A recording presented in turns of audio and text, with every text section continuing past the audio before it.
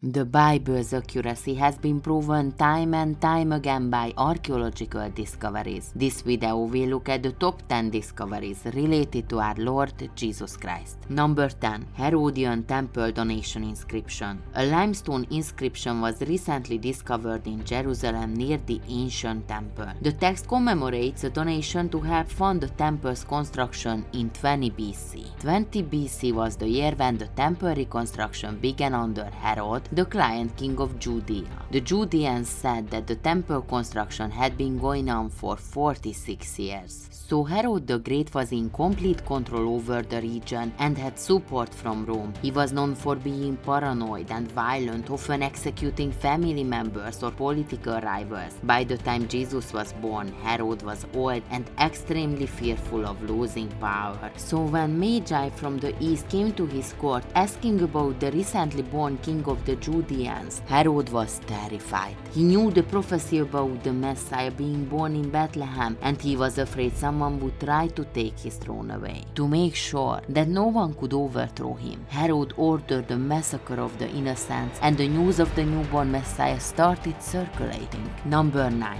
The Church of the Nativity. Joseph and Mary traveled to Bethlehem for the census, which historically proved to take place throughout the empire. Bethlehem was a small village at the time. Most residents had relatives who also came for the census. It is unlikely that there were any guest houses or inns however, caves were commonly used as animal storage areas next to or under the houses. This first century cave was excavated in Bethlehem under the Church of the Nativity. The Church of the Nativity has a 2000 years long tradition of belief that this grotto was the birthplace of Jesus Christ. However, Emperor Hadrian, who is often remembered for his efforts to erase the memory of Jesus Christ, did build temples for Roman gods over the sites where Jesus was born and crucified. Although he wanted to eliminate the Christian sites. Hadrian actually helped preserve these locations. Later, Constantine came and everybody knew where to look for the cave where Jesus was born. He erected the church above the cave in 326 AD.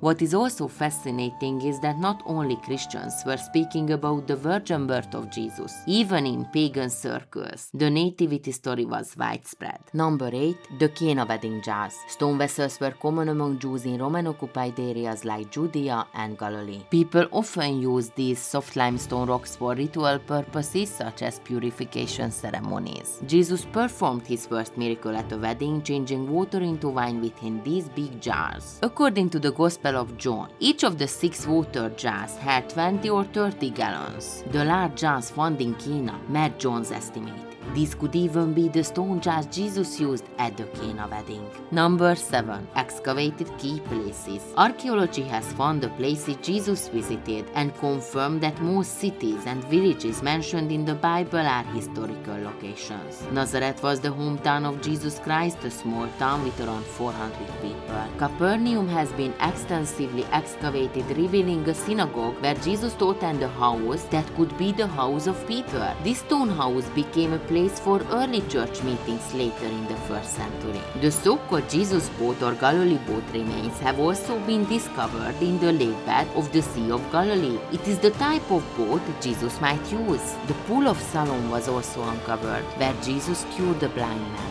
There is the pool of Bethesda where the paralyzed man was healed who had waited 38 long years to be healed. However, there is Magdala, Kursi, Chorazin, Bethsaida and Bethany and we could go on. As we can see, these archaeological findings are a testament to the accuracy of the Gospels. Number 6. Caiaphas Ossuary Caiaphas played a significant role in Jesus' death. His full name was Joseph Caiaphas and he served as the high priest in Jerusalem between 18 and 36 AD. A tomb with 12 ossuaries was found west of Jerusalem. Two of them are marked with the family name Caiaphas. The skeletons of six different people were recovered inside the ossuary, including a man about 60 years old. His ossuary said in Aramaic, Joseph, son of Caiaphas, so his name is fitting. Coins of Herod Agrippa from AD 43 were found on the skull. It means most likely he was the high priest. Number 5. The Pilate Stone and Ring. Two artifacts are directly related to Pontius Pilate. There is an engraved stone with a Latin inscription dedicated to Emperor Tiberius. The inscription dates between 26 and 36 AD from Pontius Pilate, prefect of Judea. The other is an oval bronze ring with an amphora design in the center by the Greek word Pilato, which is equivalent to Pilatus in Latin. Probably someone in his administration used this signet ring. Before these discoveries, Pilate was only known from manuscripts of Josephus, Philo, Tacitus, and of course from the Bible. Number 4. The heel bone of a crucified man. The discovery of the ossuary, a bone box in Jerusalem, silenced skeptics who used to say that Jesus was not given a proper burial as a crucified victim. Inside the box were the remains of a crucified man from the first century, along with a heel bone with the nail still stuck.